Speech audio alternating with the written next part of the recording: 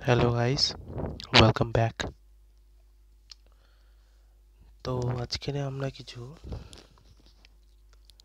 General সায়েন্সের উপর কিছু প্রশ্ন বা ওয়ান লাইনার প্র্যাকটিস করব। আচ্ছা ফার্স্ট আসছে জীববিদ্যায়। কি বলছে? টায়ালিন কোন জাতীয় খাদ্যকে পাচিত করে?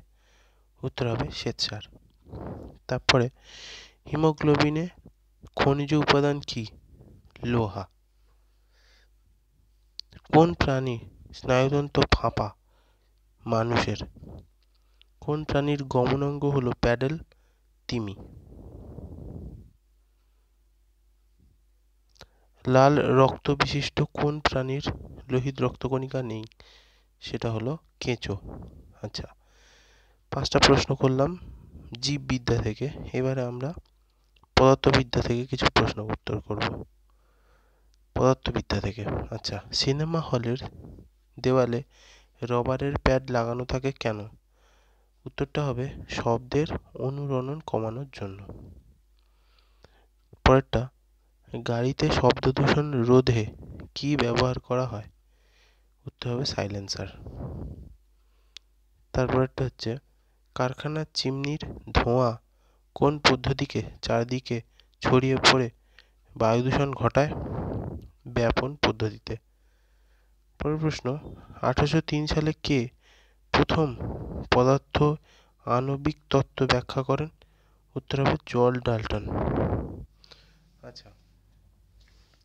তো পদার্থবিদ্যা গেল, এখন আমরা কিছু রসায়নের প্রশ্ন করব। হাইড্রোজেন গ্যাস কি রঙের? শিখা জলে। হাইড্রোজেন গ্যাসে কি রঙের? শিখা জলে। নীল রঙের। ঠান্ডা জলে দ্রাব্য, কিন্তু গরম জলে অদ্রাব্য। এমন একটি গ্যাসের নাম কি? Hydrogen sulphide. হাইড্রোজেন সালফাইডের সংকেত এইচ টু এস পরেরটা নাইট্রোজেনে কয়টি যোজ্যতা? নাইট্রোজেনের পাঁচটি যোজ্যতা।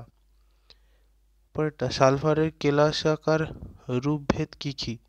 সালফারের কেলাসাকার রূপভেদ হলো রম্বিক সালফার ও মনোক্সিলিক সালফার। তাহলে সালফারের রূপভেদ দুটো কী কী? রম্বিক সালফার ও মনোক্সিলিক সালফার। পরেরটা হচ্ছে, সালফারের অনিয়তাকার রূপভেদ কী কী? একটা হচ্ছে প্লাস্টিক সালফার ও কোলাইডীয় সালফার। তাহলে সালফারের অনিয়তাকার রূপভেদ হলো প্লাস্টিক সালফার ও কোলাইডীয় সালফার।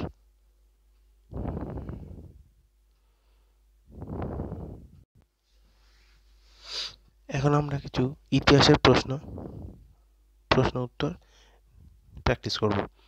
কি বলেছে পনেরো নম্বর দাগেরটা? প্রার্থনা সমাজ ভারতের কোন রাজ্যে প্রতিষ্ঠিত? প্রার্থনা সমাজ কোন রাজ্যে প্রতিষ্ঠিত হয়? উত্তরটা হবে মহারাষ্ট্র। একটা প্রশ্ন থাকবে যে প্রার্থনা সমাজ কে প্রতিষ্ঠা করে? উত্তরটা কমেন্ট বক্সে পারলে একটু লিখে দেবেন। পরের প্রশ্ন, কার নেতৃত্বে চট্টগ্রাম চট্টগ্রাম অস্ত্রাগার লুণ্ঠন হয়েছিল? সবাই জানে, এটা হচ্ছে সূর্য সেন। আচ্ছা আমার কাছে, আমার এখানে দুটো প্রশ্ন, এই ষোলো নম্বর দাগের ওয়ান লাইনারের জন্য। সাপেক্ষে দুখানা প্রশ্ন থাকবে। প্রথম প্রশ্ন, চট্টগ্রাম কোথায়? আর দ্বিতীয় প্রশ্ন হচ্ছে, এই যে চট্টগ্রাম অস্ত্রগার লুণ্ঠন হয়েছিল, সেটা কত সালে? পরবর্তী প্রশ্ন আসছি। আলেকজান্ডার যখন ভারতে আক্রমণ করেন, তখন মগধে কোন বংশের শাসন চলছিল? আলেকজান্ডার যখন ভারতে আক্রমণ করেন, তখন মগধে কোন রাজ্যের বংশের শাসন চলছিল? উত্তর হবে নন্দবংশ। এন ফর নন্দবংশ আচ্ছা পরবর্তী প্রশ্ন কি আছে? সম্রাট শাহজাহানের রাজত্বকালকে জানার মূল উপাদান সম্রাট শাহজাহানের রাজত্বকালকে জানার মূল উপাদান কি? পাদশাহী নামা। তাহলে সম্রাট শাহজাহান সম্পর্কে জানতে গেলে আমাদের পাদশাহী নামা থেকে জানতে হবে। পরবর্তী হচ্ছে উনিশের দাগের। ঋক বৈদিক যুগে প্রধান দেবতার নাম কি? ঋক বৈদিক যুগের প্রধান দেবতার নাম হচ্ছে অগ্নি। এবারে কিছু ইন্ডিয়ান ন্যাশনাল মুভমেন্ট বা ভারতের স্বাধীনতা সংগ্রাম থেকে জানব। কুড়ির দাগেরটা বলেছে, কাকে? ভারতের বিসমার্ক বলে। ভারতের বিস্মার্ক কাকে বলা হয়? সর্দার বল্লভভাই প্যাটেল। সর্দার বল্লভভাই প্যাটেলকে আর কি নামে জানা হয়? আয়রন ম্যান অফ ইন্ডিয়া আচ্ছা আমাকে একটা প্রশ্নের, একটা প্রশ্ন থাকবে এই ওয়ান লাইনারের সাপেক্ষে। যে ভারতের প্রথম ডেপুটি প্রাইম মিনিস্টার কে? ভারতের প্রথম ডেপুটি প্রাইম মিনিস্টার কে ছিলেন? আর তার সাথে থাকবে ভারতের প্রথম হোম মিনিস্টার কে ছিল? প্রথম স্বাধীন ভারতের প্রথম হোম মিনিস্টার কে ছিল? আচ্ছা একুশের দাগের অন্ধকূপ হত্যাকাণ্ড ঘটনাটির উদ্দেশ্য পরিচা প্রচারিত হয় কে করেছিল? সিরাজউদ্দৌলা কেলেঙ্কারি কলঙ্কিত করার জন্য। সিরাজউদ্দৌলাকে কলঙ্কিত করার জন্য অন্ধকূপ হত্যাটাকে ব্রিটিশরা তুলে ধরেছিল। বক্সারের যুদ্ধ কবে হয়? সতেরোশো চৌষট্টি সালের বাইশে অক্টোবরে বক্সারের যুদ্ধ হয়। একটা প্রশ্ন, একটা কথা এখানে বলে রাখি, যে সতেরোশো সাতান্ন সালে মহাবিদ্রোহ হয়েছিল। সরি, আঠেরোশো সাতান্ন সালে মহাবিদ্রোহ হয়েছিল, তার একশো বছর আগে সতেরোশো সাতান্ন সালে পলাশির যুদ্ধ হয়েছিল। ব্রিটিশরা সতেরোশো সাতান্ন সালে যুদ্ধে জিতেছিল, ঠিক। কিন্তু ব্রিটিশদের রাজত্ব বা ব্রিটিশদের আধিপত্য শুরু হয় কিন্তু বক্সারের যুদ্ধ পর থেকে। তাহলে বক্সারের যুদ্ধ কত সালে হয়েছিল? সতেরোশো চৌষট্টি সালের বাইশে অক্টোবর। তারিখটা মনে রাখবেন, এটা তুলে দিতে পারে। পরবর্তী প্রশ্ন, ভারত ছাড়ো আন্দোলনের মূল ধ্বনি কী ছিল? করেঙ্গে, ইয়া মরেঙ্গে, এটা কে বলেছিল? কে এই উক্তিটা শুরু করেছিল সেটা প্রশ্ন থাকবে। পরবর্তী প্রশ্ন, ত্রিপুরী কংগ্রেস অধিবেশন উনিশশো উনচল্লিশ সালে সুভাষচন্দ্র বসুর প্রধান প্রতিদ্বন্দ্বী কে ছিল? সেটা হবে পট্টবী সীতারামাইয়া। কত সালের ইলেকশনে? উনিশশো উনচল্লিশ সালে। এখানে আমার জিজ্ঞাসা থাকবে যে পট্টবী সীতারামাইয়াকে কে দাঁড় করিয়েছিল? আচ্ছা এবারে আমরা কিছু ভূগোলের প্রশ্ন নিয়ে আলোচনা করব। প্রথমে ভারতের ভূগোল। বলছে যে, মালাবার উপকূল কোন অংশ থেকে কোন অংশ পর্যন্ত বিস্তৃত? এটা হবে গোয়া থেকে কন্যাকুমারী। তারপরে ছাব্বিশের দাগের অসমের প্রাক মৌসুমি বৃষ্টিপাতকে কি বলা হয়? বর্দচিলা পরেরটায় সাতাশ নম্বর দাগের। কি বলছে? যে স্থান স্থানান্তর কৃষিকে ভারতে কি নামে ডাকা হয়? ঝুম। তারপরে আঠাশ নম্বর দাগের, যোধপুর ও জয়সলমীর কোন প্রাকৃতিক শক্তির আদর্শ উৎপাদক স্থান? এর উত্তর হবে সৌরশক্তি। ভারতে কোন শহরে টেলিফোন কেবল তৈরি হয়? টেলিফোনের কেবল তৈরি হয় মুম্বাইতে। এবার আসছি আন্তর্জাতিক ভূগোলে। বলছে আন্তর্জাতিক ভূগোল আচ্ছা আন্তর্জাতিক ভূগোলের মধ্যে কী আছে? হচ্ছে বর্তমানে ইরাকের যে নাম, তার আগের নাম কি ছিল? তাহলে বর্তমান যে ইরাক, তার আগের নাম ছিল মেসোপটেমিয়া। থার্টি ওয়ান নম্বর দাগের হারামাটান, হারমাট্রান কোন অঞ্চলের শুষ্ক বায়ু এটা হবে পশ্চিম আফ্রিকার গিনি উপকূলের হারমাট্রান কোন অঞ্চলের শুষ্ক বায়ু, এটা হবে পশ্চিম আফ্রিকার গিনি উপকূলে।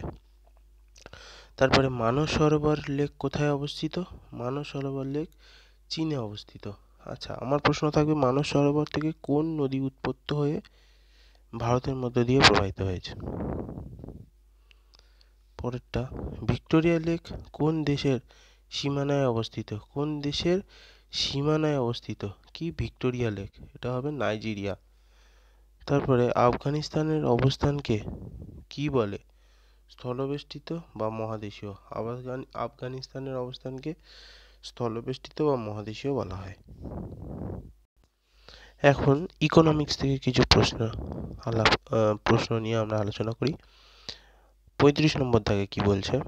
কোন সংস্থা সম্প্রতি প্রথম প্রথম টেলিকম সংস্থা হিসাবে ইউপিআই পেমেন্ট সিস্টেম চালু করেছে। কোন সংস্থা?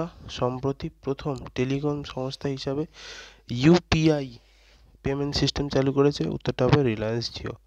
এখানে আমার একটা প্রশ্ন থাকবে, সেটা হচ্ছে ইউপিআই এর ফুল ফর্ম কি?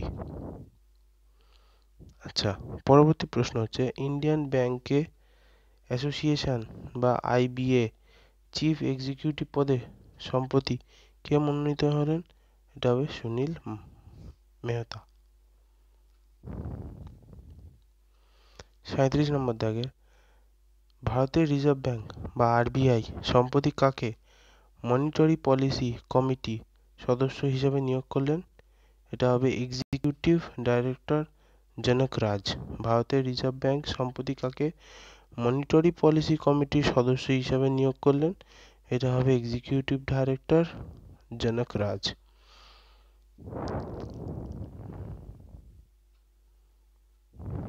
আটত্রিশের দাগের ভারতের নির্বাচিত কমিশন সম্প্রতি কাকে স্পেশাল এক্সপেন্ডিচার অবজারভার হিসেবে নিয়োগ করলেন? বি মুরলী কুমার ভারতের নির্বাচন কমিশন নির্বাচন কমিশন সম্প্রতি কাকে স্পেশাল এক্সিকিউটিভ অবজারভার হিসেবে নিয়োগ করলেন? বি মুরলী কুমার লন্ডন ভিত্তিক financial intelligence, intelligence magazine, the banker. এর তরফ থেকে কে সম্প্রতি এশিয়ার প্যাসিফিক অঞ্চলে দু হাজার কুড়ি সালের বর্ষসেরা সেন্ট্রাল ব্যাংক হিসাবে মনোনীত হলো? সেটা হবে ভারতীয় রিজার্ভ ব্যাংকের গভর্নর শক্তিকান্ত দাস। ইনি একজন আই ইউপিএসসি ক্যাডার।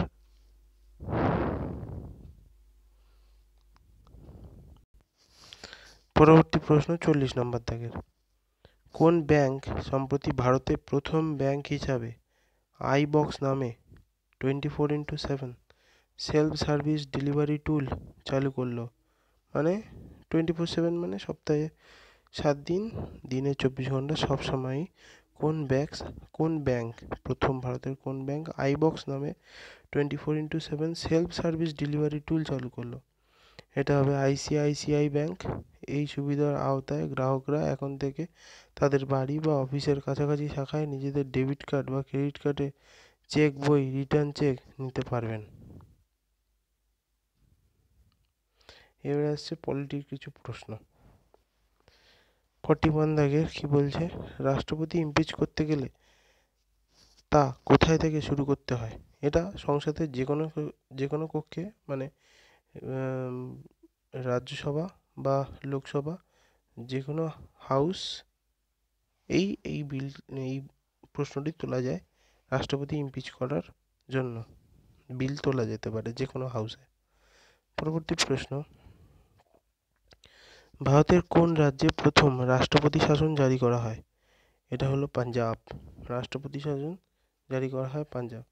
আচ্ছা এখানে আমার কয়েকটা প্রশ্ন থাকবে। প্রথম প্রশ্ন হলো যে যে স্টেট এমার্জেন্সি কত নম্বর আর্টিকেলে আছে? তারপরের প্রশ্নটা হলো ন্যাশনাল এমার্জেন্সি কত নম্বর আর্টিকেলে হয়েছে? তারপরের প্রশ্ন হলো, সর্বশেষ স্টেট এমার্জেন্সি কোন জায়গায় হয়েছে? মানে কোন স্টেটে হয়েছে?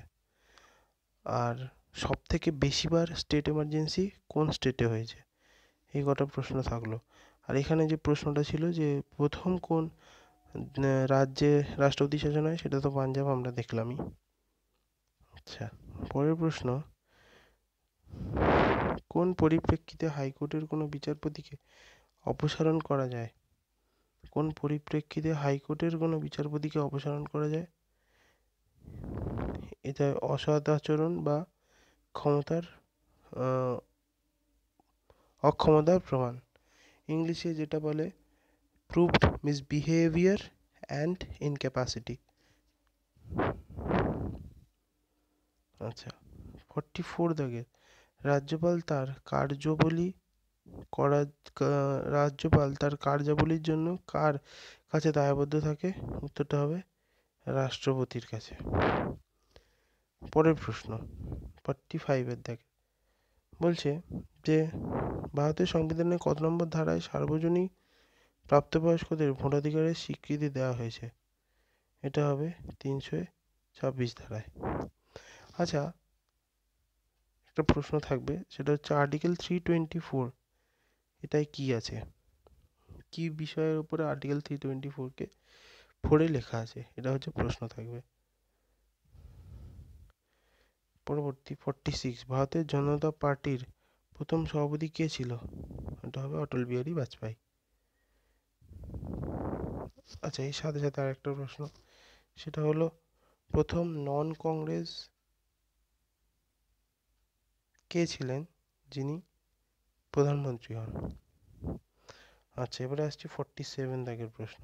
ফর্টি সেভেন দাগের প্রশ্ন বলছে, রাজ্যের সর্বোচ্চ আদালত কি এটা হবে হাইকোর্ট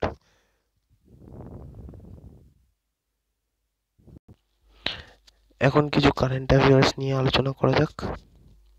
ফর্টি এইট দাগে বলছে, আন্তর্জাতিক শুল্ক দিবস কবে পালিত হয়? আন্তর্জাতিক শুল্ক দিবস, আন্তর্জাতিক। আচ্ছা ছাব্বিশে জানুয়ারি দু হাজার কুড়ি সালে এর থিম ছিল customer foresting sorry customer fostering sustainability for people prosperity at the planet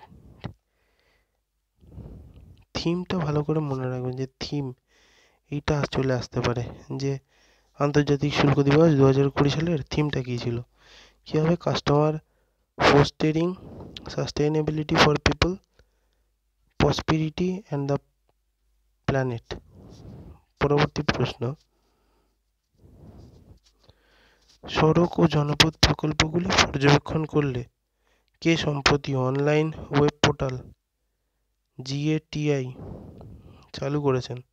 সড়ক ও জনপথ প্রকল্পের পর্যবেক্ষণ করতে সম্প্রতি অনলাইন পোর্টাল জিএটিআই চালু করেছেন কে? কেন্দ্রীয় সড়ক পরিবহন ও জনপথ মন্ত্রী নীতিন জয়রাম গডকরি। নীতিন গডকরি।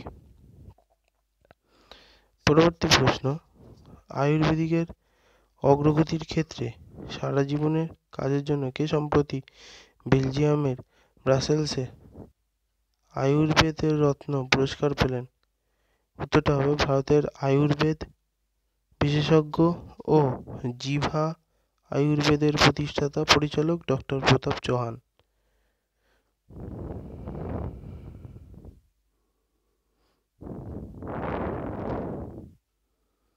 আচ্ছা পরবর্তী প্রশ্ন একান্ন দাগের।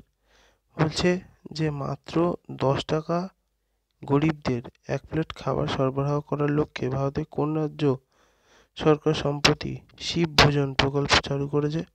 এটা হবে মহারাষ্ট্র। পরেরটা, হামের প্রভাবে, হামের প্রাদুর্ভাব নিয়ন্ত্রণ করতে ভারতের সম্প্রতি কোন দেশ তিরিশ হাজার ডোজ হোম হাম ও রুবেল ভ্যাকসিন সরবরাহ করেছেন। এটা হবে মালদ্বীপ। হামের প্রভাব নিয়ন্ত্রণ করতে ভারত সম্প্রতি কোন দেশে তিরিশ হাজার ডোজ হাম ও রুবেল ভ্যাকসিনের সরবরাহ করেছেন? এটা হবে মালদ্বীপ। আচ্ছা এখানে একটা প্রশ্ন করে রাখি যে, আগে থেকে ভ্যাকসিন দিয়ে রাখলে অনেক রোগ প্রতিরোধ করা যায়। এটা একটা তত্ত্ব ছিল। প্রশ্নটা হচ্ছে যে, এই পদ্ধতিটা অনুসরণ করে কতগুলি রোগকে আমরা আগে থেকেই নির্মূল করতে পারি? সেটা হচ্ছে প্রশ্ন। আচ্ছা পরবর্তী প্রশ্ন। দু হাজার দু হাজার কুড়ি সালে তেরোতম বার্ষিক জি জয়পুর সাহিত্য উৎসবের থিম কী ছিল? Learning is other study stories পরেরটা ফর্টি সরি ফিফটি ফাইভের বিজি টাইমলেস টেলস ফর মারওয়া। বইটি কে লিখেছেন? বিশেষ কোটারি। দু হাজার কুড়ি সালে কোন দেশের, কোন শহরে ওয়ার্ল্ড হলোকাস্ট ফোরাম অনুষ্ঠিত হয়? ইসরায়েলের রাজধানী জেরুজালেমে। All India agricultural students association এর তরফ থেকে সম্প্রতি দু হাজার উনিশ সালের হরিতন রত্ন পুরস্কার পেয়েছিলেন তামিলনাড়ু কৃষি বিদ্যালয়ের vice chancellor doctor N Kumar. গণতান্ত্রিক চিন্তাভাবনার জন্য কে দু হাজার উনিশ কুড়ি সালের P I N Gauri Lankesh পুরস্কার পাচ্ছেন? কাশ্মীরি সাংবাদিক ইউসুফ জামিল।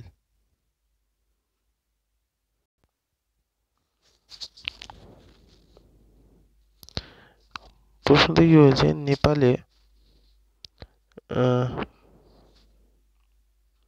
ফিফটি নাইনের বলছে, নেপালে ভারতের পরবর্তী রাষ্ট্রদূত কে মনোনীত হলো? এটা হবে বিজয় বিনয় মোহন কাত্রা। পরেরটি সিক্সটির দাগের কেরলের মুখ্যমন্ত্রী পিনারাই বিজয়ন সম্প্রতি কোন শহরে ভারতের প্রথম সুপারফাস্ট ল্যাবের উদ্বোধন করেছেন? এটা হবে কোচি। পরের দাগেরটা দু হাজার কুড়ি সালে ভারতের কোন শহরে ওয়ার্ল্ড সাস্টেনেবল ডেভেলপমেন্ট সামিট অনুষ্ঠিত হয়েছে? এটা হবে নয়াদিল্লি। এবছরের থিম ছিল towards two thousand thirty goals making the decade count. পরবর্তী সিক্সটি টু এর দাগে, ভারতের কোন রাজ্যে কোন শহরে সম্প্রতি বিশ্বের বৃহত্তম মেডিটেশন সেন্টার উদ্বোধন হলো? এটা তেলেঙ্গানার হায়দ্রাবাদে। তেলেঙ্গানার রাজধানী হায়দ্রাবাদ। আচ্ছা তেলেঙ্গানা কত সালে একটি ইন্ডিপেন্ডেন্ট স্টেট হলো? এটা একটা প্রশ্ন। পরবর্তী সিক্সটি থ্রি দাগের পরিবেশগত অবক্ষয় ও ক্ষতির অর্থনৈতিক পরিণতি, কর্পোরেট রাজনীতির সিদ্ধান্ত গ্রহণকারীদের নজরে আনার ক্ষেত্রে অসামান্য ভূমিকা নেওয়ার জন্য কোন ভারতীয় পরিবেশ অর্থনীতিবিদ সম্প্রতি দু হাজার কুড়ি সালে টাইলার পুরস্কার পেলেন? এটা হবে। ইউএন এনভায়রনমেন্ট প্রোগ্রাম বা ইউএনইপি এর শুভেচ্ছা দূত পবন সুখদেব, মার্কিন যুক্তরাষ্ট্রের সংরক্ষণ জীবনবিজ্ঞানী গ্রেটচেন সি ডেইলিয়ের সঙ্গে যৌথভাবে এই পুরস্কার পেয়েছিলেন তিনি। পরবর্তী ফর্টি সিক্স দাগের রাষ্ট্রসংঘ সম্প্রতি সম্প্রতি কাকে থাইল্যান্ডের রেসিডেন্ট কোঅর্ডিনেট হিসাবে নিয়োগ করলেন? ভারতের গীতা সবরওয়াল।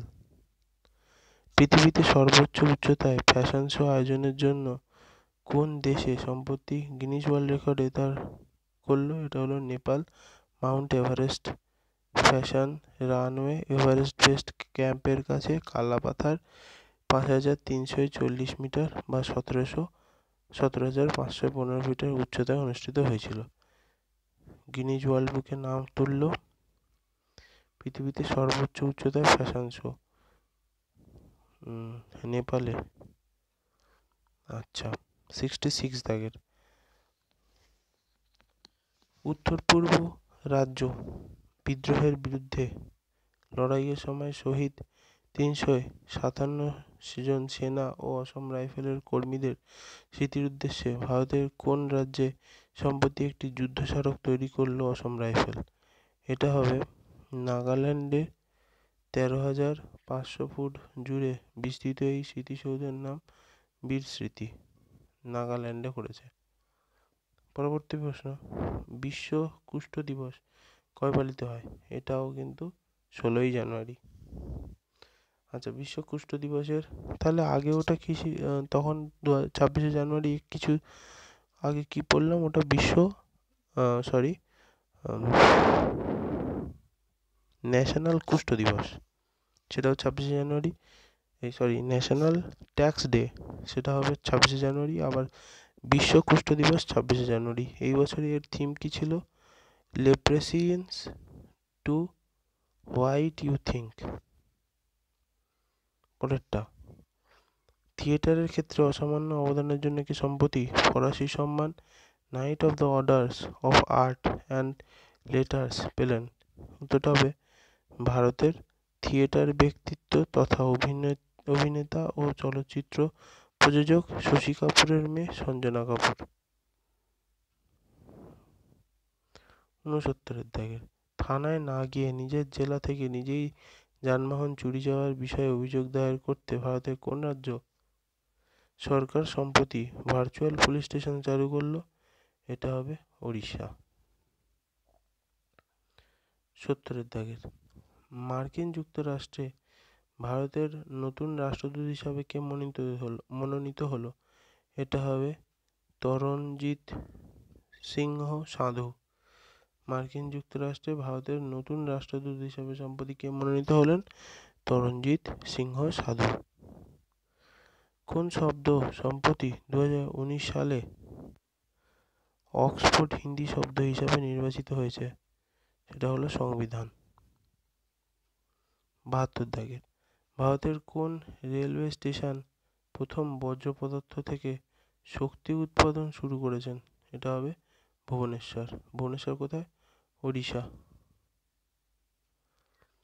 পরবর্তী প্রশ্ন দু হাজার কুড়ি সালের সেভেন্টি ওয়ানথ একাত্তরতম স্বাধীনতা দিবস প্যারেড ভারতের কোন রাজ্যে ট্যাবলো প্রথম স্থান পেল? সেটা হলো অসম। অসমকে প্রথম স্থান দেওয়া হয়েছে। তারপরে দু হাজার কুড়ি সালে গ্রামী পুরস্কারে কে একই সঙ্গে চারটি প্রধান বিভাগে record album song and new artist এর সেরা সম্মান পেয়েছ? এটা হবে বিলি এলিস। এটা আমি কিছুদিন আগে একটা গ্রামি অ্যাওয়ার্ডের ওপরে একটা ভিডিও বানিয়েছিলাম। তাতে এটা ডিটেইলে আলোচনা করা দেওয়া আছে। পঁচাত্তর দাগের। ভারতের কোন রাজ্যের মুখ্যমন্ত্রী সম্প্রতি দু উনিশ সালে চ্যাম্পিয়ন অব দ্য চেঞ্জ পুরস্কার পেল? ঝাড়খণ্ডের মুখ্যমন্ত্রী হেমন্ত সোরেন। আচ্ছা অসামান্য মিডিয়া ব্যক্তিত্ব হিসাবে কে সম্প্রতি কেরালা ন্যাশনাল মিডিয়া পুরস্কারের জন্য নির্বাচিত হন? এটা হবে দ্য হিন্দু গ্রুপ এর চেয়ারম্যান এন রান পরবর্তী প্রশ্ন, সাতাত্তর দাগের। Hindustan aeronautics limited H L chief executive officer Bengaluru complex পদে সম্পদ কে মনোনীত হলো অমিতাভ ভাট। এবারে আসছি খেলাধুলার কিছু প্রশ্নে। বলছে যে ইন্টারন্যাশনাল ক্রিকেট কাউন্সিল আইসিসি সম্প্রতি চিফ কমার্শিয়াল অফিসার হিসাবে কে যুক্ত, নিযুক্ত হলেন? অনুরাগ দহিয়া আচ্ছা আমার প্রশ্ন থাকবে যে আইসিসির এখন প্রেসিডেন্ট কে? যে প্রেসিডেন্ট তার নাম কি? পরবর্তী প্রশ্ন সেভেন্টি নাইন দাগের। দু হাজার কুড়ি সালের ছাব্বিশে জানুয়ারি মার্কিন যুক্তরাষ্ট্রের ক্যালিফোর্নিয়ায় এক হেলিকপ্টার দুর্ঘটনায় মারা গেলেন কোবে ব্রায়েন্ট, ফর্টি ওয়ান। তিনি কোন খেলার সাথে যুক্ত ছিল? এটা হবে বাস্কেটবল।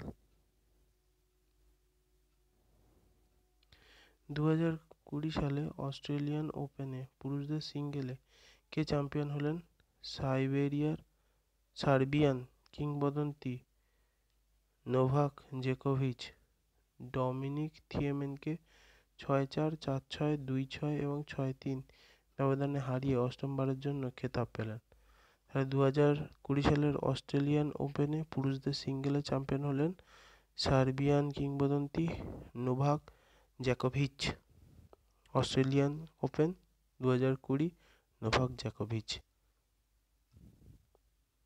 কাকে হারিয়েছেন? ডমিনিক থিয়েমেনকে।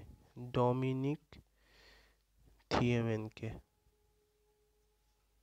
পরবর্তী প্রশ্ন এইটটি ওয়ান দাগের দু হাজার কুড়ি সালে অস্ট্রেলিয়ান ওপেনে মহিলাদের সিঙ্গেলে কে চ্যাম্পিয়ন হলেন? মার্কিন যুক্তরাষ্ট্রের সোফিয়া কেনন।